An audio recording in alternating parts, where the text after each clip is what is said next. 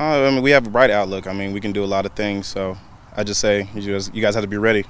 Keep your eyes open. With a man to beat, Jalen Rhodes sheds a tackler. Jalen Rhodes, one more to beat. Touchdown, Jalen Rhodes. UTSA enters 2018 with question marks on offense. Most notably, a position battle at quarterback to replace departed starter Dalton Sturm. Only four starters return on offense, and with the youth movement on that side of the ball, the stabilizing factor comes in the backfield as senior Jalen Rhodes looks to recapture the 2016 form that saw him set a single season touchdown record. Here's Rhodes on the opportunity that awaits. That was very nice. I was surprised to see it be like this, but it's very cool. I've never seen anything like it. Great that it's inside, too, right? Of course, it's hot outside. What does it mean to be able to, to represent UTSA? You know, you're here in front of everyone in the conference to, to have that honor to represent your program. I mean, it's a great honor to be chosen by my head coach in the university to be out here. So I just I'm humbled and I really appreciate it. Senior year for you, uh, what does that mean? That hey, this is this is it. Last time you're gonna wear these clothes, wear that uniform for the Roadrunners. All or nothing. It could be my last time. So just give it everything I got. After last year, thought you had that bowl maybe that six win, and then you weren't bowl eligible.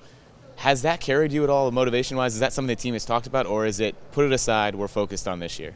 Oh, we're still focused on this year, but it is great motivation because at the end of the day, that's what we're competing for. We're competing for rings, championships. So when you come away from the season without that, it's very disappointing. So we have a chip on our shoulders. We have great motivation to, to do that this year.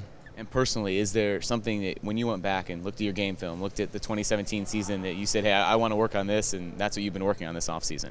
Correct, and that's really just uh, how in shape I was. I, I believe that the way that my body was and the way I performed wasn't it wasn't acceptable. So I just believe that I need to put more work in and, and do the best I can to help my team.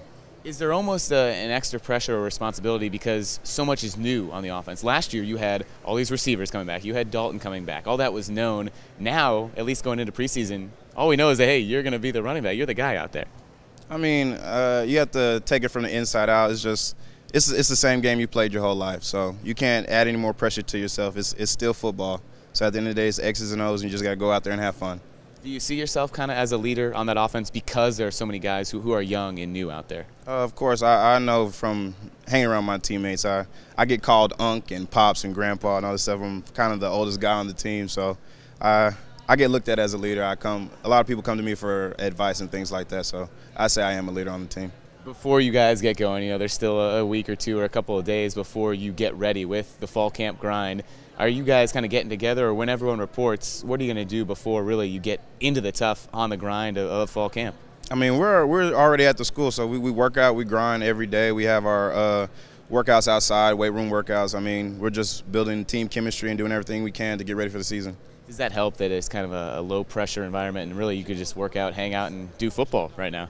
Yeah, anytime that your team builds a bond and you become more of a family than just a group of guys, it'll always be good for you. The senior class is the smallest on the roster, but they have shouldered the task of getting UTSA back to a bowl game.